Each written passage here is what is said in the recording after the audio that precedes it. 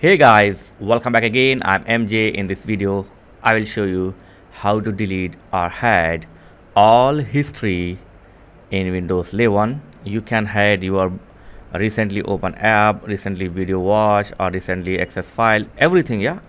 You can hide or delete all history in windows pc so follow this step. First thing is go to start and go to setting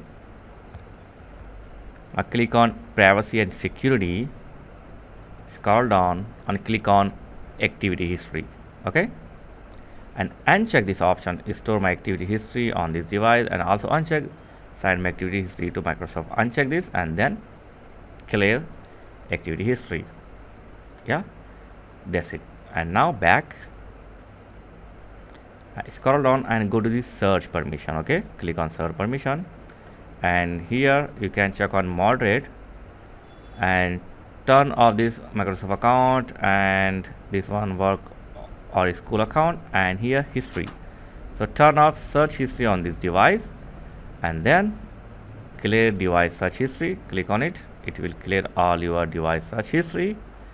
And for more setting you can also turn off show search highlights. You can also turn off this one okay and after this come back and now click on personalization okay? So after personalization click on start and then turn on the show recently added app and also turn off show recently open item okay? So turn off this one show recently added apps and also turn on show recently open item. So this will hide your uh, start history as you can see when I click on start it will show all my recommended or recently open history. So to hide this or delete this you need to uncheck this one or turn off this one okay? So simply turn off this one okay? And boom your history will be gone as you can see. Yeah. And after this go to this PC open it and right click on quick access. Go to show show more option and then click on options here go to view sorry here go to journal and uncheck the show recently used file in quick access and also uncheck the show frequently used folders. Okay uncheck this both option and then click clear and okay yeah. And after this you can clear your clipboard history. So for this press windows v.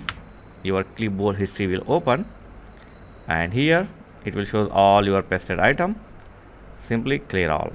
That's it. All your copy paste history will be deleted. Yeah it's very simple.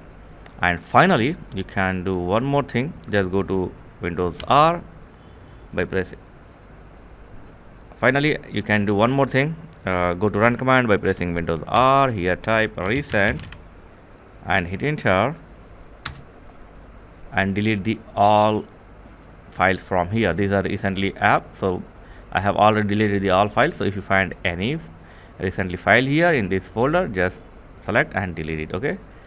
So like this you can delete all history from your windows 11 and 99% viewers did not subscribing to my channel. If you got any help then please subscribe to my channel. Thanks for watching guys. Catch you next video. Please like share and subscribe. Thank you very much